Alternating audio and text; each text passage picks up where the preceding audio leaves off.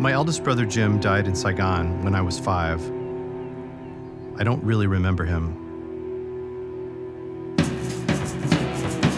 I always thought Jim died in the war.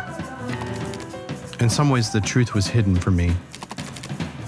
There's always been a lot of mystery about what happened to Jim.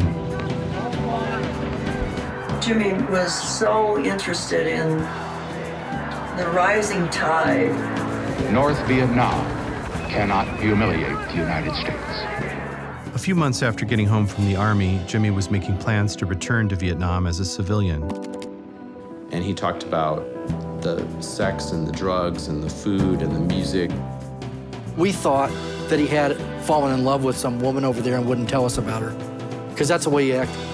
But Jimmy was very, shall we say, secretive. It was pretty clear even then that he, you know, he was hurting about things. Hi. You the Jim brother? Yes. Bonjour. Bonjour. Ça va?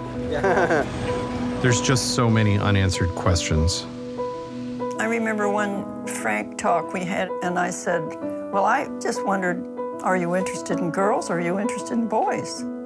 He doesn't, he didn't say anything. When I came out, I was like really suffering. To know that I might have had a gay brother could be a really, really moving thing for me.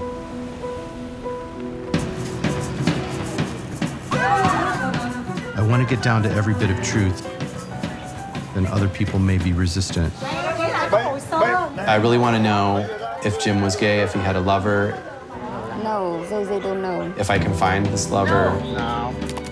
I want to find out the real truth behind actually how he died. Oh, my mother. My mother. I just feel like I'm on the tip of the iceberg.